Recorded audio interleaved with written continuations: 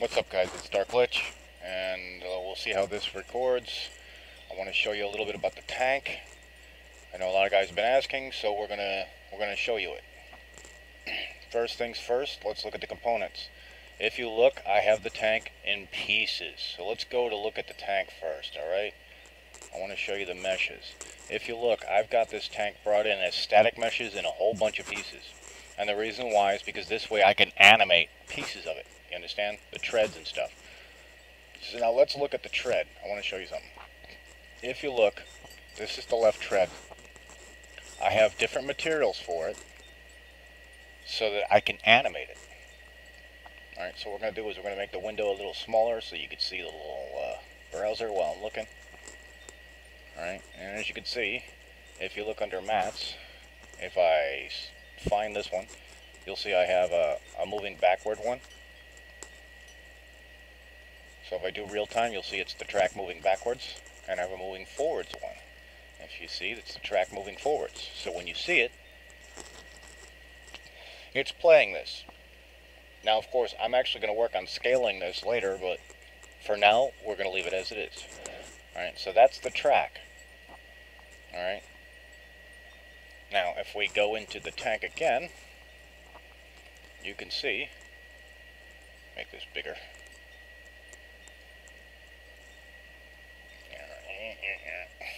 Okay. Now, these are all separate pieces.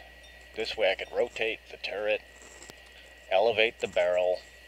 If you look, the projectile spawns here. I named this muzzle so that I can put the muzzle flash there. Okay. And here's the wheels, the tracks. Alright. You got a minigun, which I'll be working on later.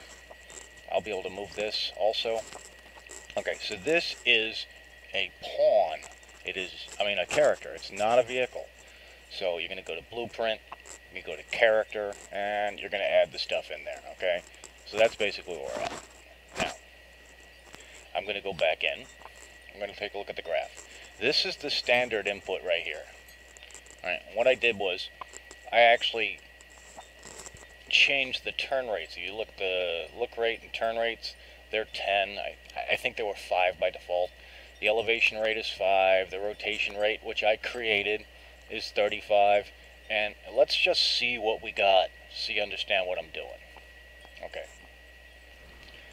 Alright, you'll see that the tank itself, I can rotate the turret, lift the barrel up and down. The projectile is much faster than it was. Alright, but I can also drive forward while I'm rotating.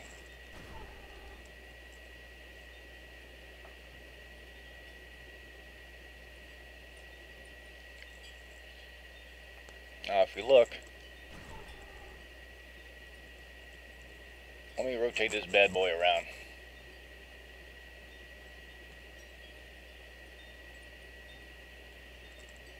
See the tracks going different directions?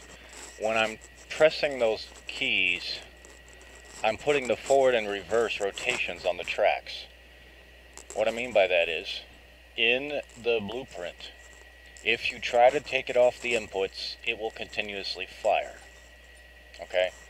So what I did was instead, under the movement inputs, if you look, I make it so you press the key, I'm setting that material. Which is you're going to get the mesh for the track left.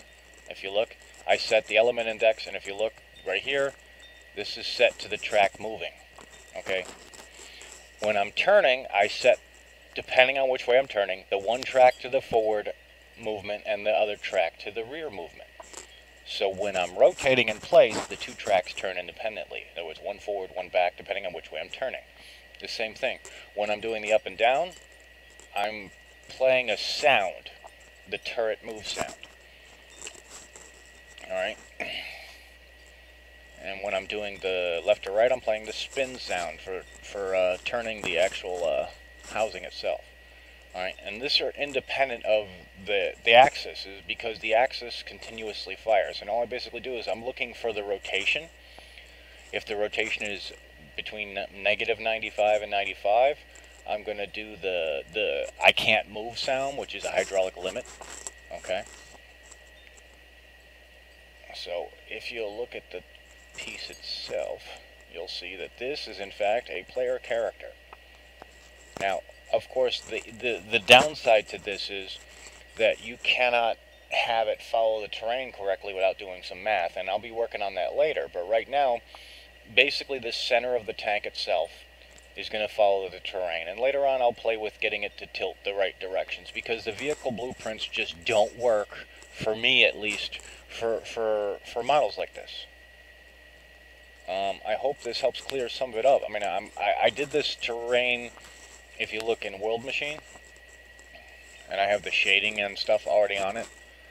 Um, I, I haven't seen any decent tutorials on how to do it. There's like one or two, so start with the basics.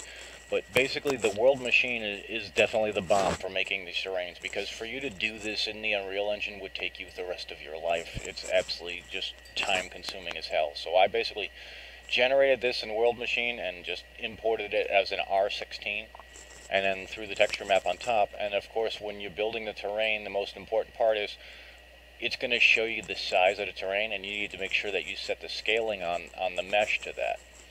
Um, uh, let me see. Go back in here. Yeah, under terrain. If you look, the landscape coordinates were 4336 when I created it. So I basically scaled those using landscape coordinates to that so that it matches the terrain correctly. You'll see it when you're creating the terrain, but uh, I'll get more into that later because let's just stick with the basics for now. Um, the other thing is that I've also got the sounds right here. So in the tank itself, I'm going to do the sounds depending on how much, spawn projectile, and, and it, I chose two and a half seconds, but actually the tank fires slower, but we'll just go with that for now. Um, I, I, hope this helps you a little bit. Um, I got the model from uh, TF3D. It's the M1 Abrams on their website, and all I did was basically bring it into 3D Studio and fix some of the textures, but basically this is that mesh. Um, I hope this helps, and I uh, hope you guys enjoy the video. Thanks a lot.